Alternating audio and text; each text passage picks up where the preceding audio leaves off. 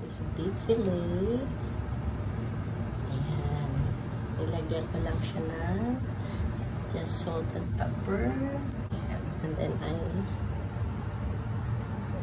use the plain flour.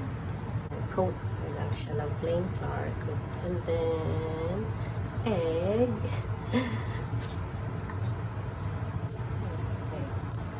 And then after the egg,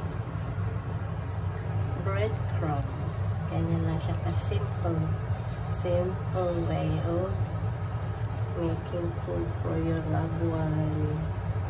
And then, olive oil. Ito natin dito. Ang ating beef schnitzel.